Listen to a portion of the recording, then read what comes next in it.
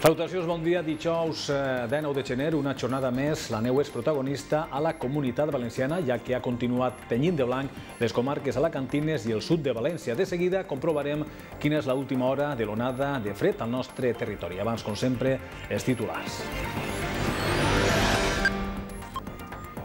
El temporal de neu i fred afecta avui especialment al nord d'Alacant i al sud de la província de València.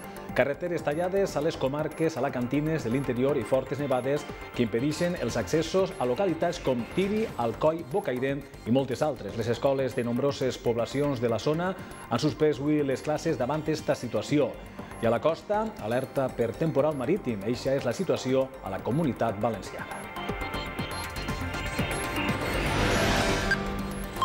El València Márquez imposa a l'Unicaja